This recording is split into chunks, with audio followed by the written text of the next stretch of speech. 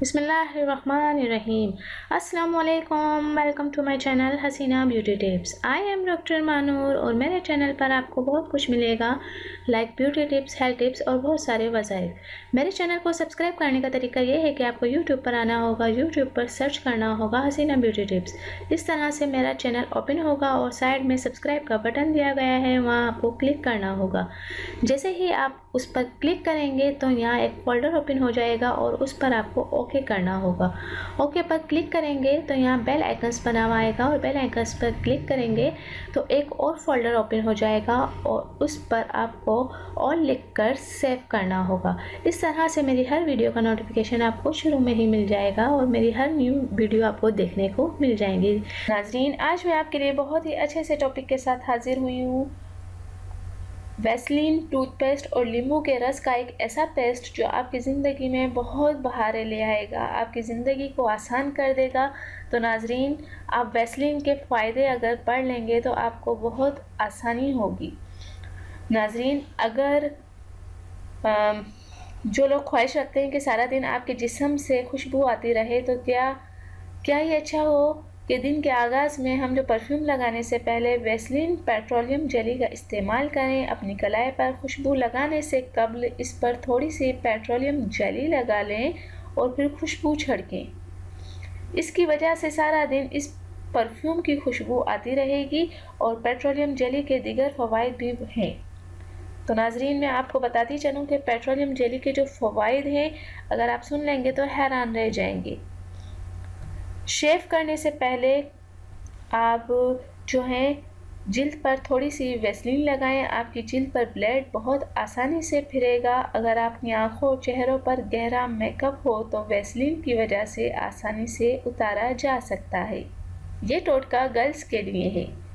और शेव करने से कबल अगर हम लगा लेते हैं तो हमारी शेव भी बहुत आसानी से बनती है। और सर्दियों में खासकर जो चेहरे पर खुश्की हो जाती है, उससे हमारे जो मर्द हजरात हैं, उनके फेस पर दाने भी नहीं निकलते और वैसलिन लगाने से आपकी स्किन बहुत ज़्यादा सेव हो जाती है एक तरीके से जो है, वो आपकी स्किन के लिए बहुत ही अच्छी है।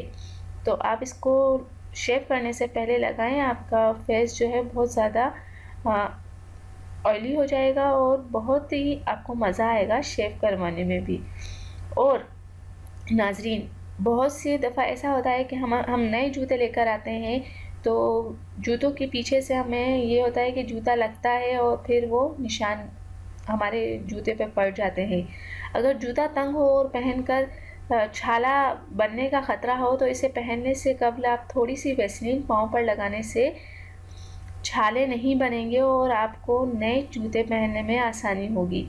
और नाजरीन, इसके अलावा नाखूनों के, नाखूनों से तेल नाखलों मतलब नेल से जो है, वो नेल पॉलिश उतारने के लिए वैसलीन, टूथपेस्ट और नींबू के रस को मिक्स करें। और इससे आप, इसको जो है आप अपने नेल पर लगाएँ, ये आपको नेल रिमूवर का काम देगा और नाखून पॉलिश जो है वो आपकी साफ़ हो जाएगी। और आप जो है नेल रिमूवर होते हैं, उसमें जो है केमिकल्स वगैरह भी होते हैं, लेकिन ये बहुत ही अच्छी अच्छा ट्रीटमेंट है। नेल पॉलिश उतारने के लिए। तो आप इन चीज़ों को अपने घर में रखें और नाजरीन, वैसलिन तो हर घर की ज़रूरत है। टूथपेस्ट भी हम इस्तेमाल करते हैं। नींबू एक आपको मंगवाना पड़ेगा अगर आपके घर में नहीं है। और इन ताला आप जो हैं वैसलिन के साथ बहुत साथ, बहुत ज़्यादा और भी टोटके हैं। वो मैं नेक्स्ट वीडियो में बताऊँगी। वैसलिन जो है वो बहुत ही फ़ायदेमंद है आपकी स्किन के लिए। अगर आप फेस पर भी लगाते हैं जो लड़कियाँ हैं, वो फेस पर भी लगाए ना, उनका फेस जो है, वो झुरियों से पाक हो जाएगा और जो सर्दियों में जो आपके फेस पर रिंकल्स टाइप की बन जाते हैं, वो ख़त्म हो जाएँगी। तो उम्मीद करती हूँ कि आज आपको ये इन्फॉर्मेटिव वीडियो पसंद आई होगी। जाने से पहले सिर्फ़ इतना ही कहूँगी, मेरे चैनल को ज़रूर सब्सक्राइब कर दें। अगर मेरी वीडियोज़ आपको अच्छी लगती हैं तो दूसरों तक ज़रूर शेयर कर दें।